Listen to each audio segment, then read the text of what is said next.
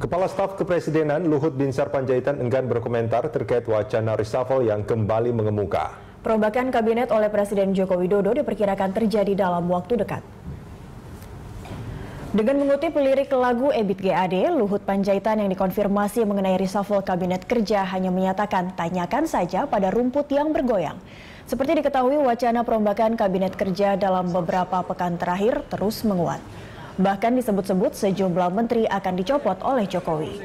Pekan lalu Jokowi memerintahkan semua menterinya membuat laporan pencapaian kinerja selama enam bulan terakhir, serta rencana kerja untuk enam bulan ke depan. Setelah menerima laporan tersebut, Jokowi akan merujuknya sebagai bahan evaluasi dalam mengukur kinerja para pembantunya. Apa? Oh kok tanya resapel kabinet? Iya Pak. Itu tanya aja rumput yang bergoyang.